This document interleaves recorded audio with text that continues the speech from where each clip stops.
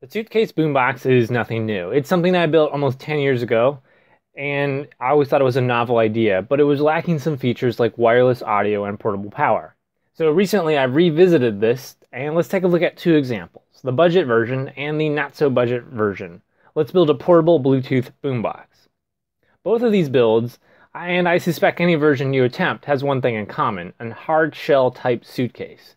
I found these American Tourister suitcases at flea markets and thrift stores. They're somewhat common in the thrifting scene, and it took a few stores to locate.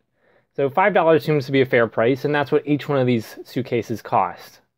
Now that we have the common item for both builds, let's focus on the deep pockets build, which really means you have to buy some speakers to fit the size of the suitcase you picked. Car speakers are the best option here, and you can find just about any size and any price range for your needs. I found this pair at Best Buy in the late 2000s when I believe the car stereo fad was starting to wane. Uh, then again, I was in my early 20s, and if you follow this graph, I think that's a normal occurrence. I need it! In this case, these are 6x9 inch speakers and conveniently have the mid range and tweeters built in. They sound pretty decent. Next is the amplifier. Knowing the consumer market helps these next two purchases, you think why not get a Bluetooth amplifier in one, but it's actually double the price if you just buy these separate components, and that's what I've done. I just have a plain amplifier and a simple Bluetooth receiver. The amplifier is a LePai brand, which is pretty common for around $25. It's a general purpose uh, small home audio amplifier, and it's worked really well for me. Speaker compatibility wise, it works with impedances between 4 to 8 ohms, which is pretty common for car speakers. The Bluetooth receiver, um, in most cases, are a dime a dozen. I found this one at Walmart, which features a built in battery and is really just a modern day equivalent of the cassette adapter when you know CD players started to become a thing. Uh, and I'm happy to see the struggle is still real for uh, new car owners. So construction requires a jigsaw and a drill. Box speakers are nice if you buy them new. Uh, they come with mounting templates. So this template helped me plan out my layout on the suitcase. So I made those cutouts first. Then I found a piece of quarter inch wood to strengthen the wall of the suitcase where I mount the speakers.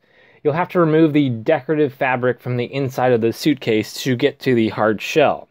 Uh, doing that, I glued the wood to the back of the suitcase, and I let this cure overnight with weights on top. When the glue dried, I just used a jigsaw to repeat that same baffle cutout for the speaker. Wiring everything goes like this. The amplifier's left and right channels plug into each speaker with speaker wire, which is like 18 gauge. The Bluetooth module goes into the amp's audio input. And to wrap this version up, I just used a 12 volt wall adapter to power the speakers. The rear vent, which is like an IKEA furniture grommet, was the way I routed the power cable into the suitcase until I added a DC jack extension on the outside. And much, much later, I made this version portable, which is what you're looking at now, by powering it with a cordless drill battery and then the Bluetooth amp, which you know was a recent addition. So we'll talk about the portable power aspect later in the version that I just recently built, and that's the shoestring budget version. Here's the other version, built on a budget of under $30. And this can be even less depending on the Bluetooth receiver that you spec. Um, but everywhere else, I've cut corners, and you can find most of these parts as discarded junk. So I don't recommend going to the extreme budget route like I've done here, although this although this boombox has arguably more character in the way it looks, and it also sounds like it looks, which is okay at best. So the history starts as whenever I come across a speaker in working condition, I usually keep it because uh, I think I can put it in a future arcade build. Uh, but that collection got a little bit out of hand, which is what you're looking at here. Although these speakers have a different impedance, um, this is what they all are at face value, and this incredibly cheap amplifier that I also kind of stumbled across requires 4 to 8 ohms impedance. So we have to figure out a way to get this to work together. So that's our plan is to arrange these speakers in a complicated way of series and parallel so the equivalent resistance matches the amp's equivalent or acceptable impedance output. So here's the, how that's done. And the parallel and series equations looks like this. So on top of all this, we have to drive this setup in mono since we only have one channel of speakers that we can work with. So most amps will not let you drive the powered output channels tied together, and that's one of these examples.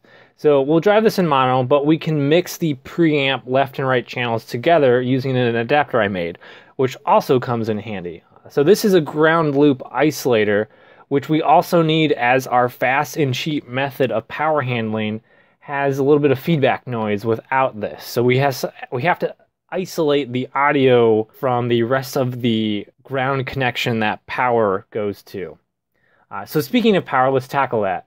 I want this portable. So the best power source available to me are cordless drill batteries and power tool batteries. So we need to build an adapter to clip onto those batteries.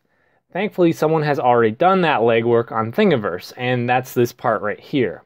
I printed this clip out of PLA. To interface with the battery terminals, I used some metal shears to cut some 2 millimeter thick aluminum, and I made these tabs which are just epoxied into place.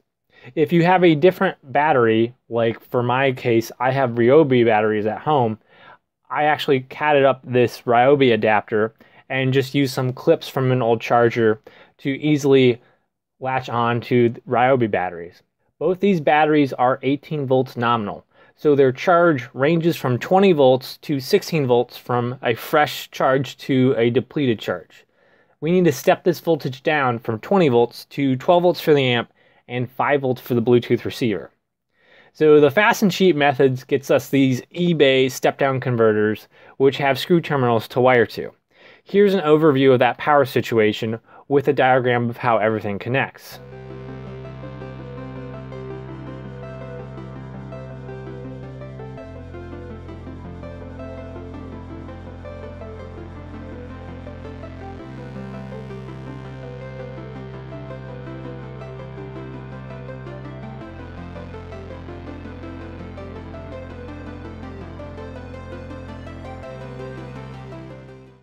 Then I add a power switch just to make things convenient to turn on and off. And this unit's basically done. So how does it sound? Surprisingly, it's okay. It really needs the ground loop isolator because this power power distribution is a little bit sloppy and there's a bad hum noise without it. Because of this weird speaker collection, we really need some equalizer controls and fortunately this amp has built-in bass and treble controls because bass capabilities of these speakers it just kind of drowns out the treble but it still looks like an absolute unit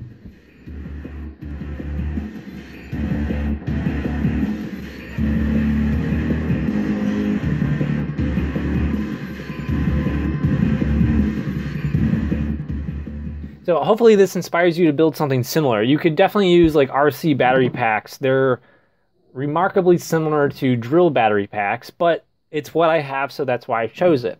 Um, it's just a little bit easier to buy a drill and charger to use on projects in the future and then get double duty from the batteries with things that you actually make. So Ryobi and Bosch, please send me free stuff. And everybody, thanks for watching.